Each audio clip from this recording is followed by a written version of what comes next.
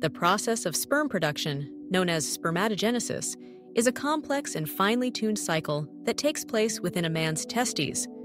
From start to finish, it takes about 64 to 72 days for a single sperm cell to fully develop. The journey begins with germ cells, which undergo several stages of transformation, dividing and maturing as they move through the seminiferous tubules.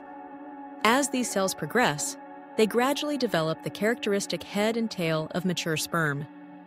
Once they reach maturity, the sperm are transported to the epididymis, where they gain the ability to swim and are stored until ejaculation. Although new sperm are continuously being produced, it's important to remember that lifestyle factors, such as diet, stress, and exposure to toxins, can affect both the quantity and quality of sperm. Overall, the male body is constantly at work, ensuring a fresh supply of sperm every few months.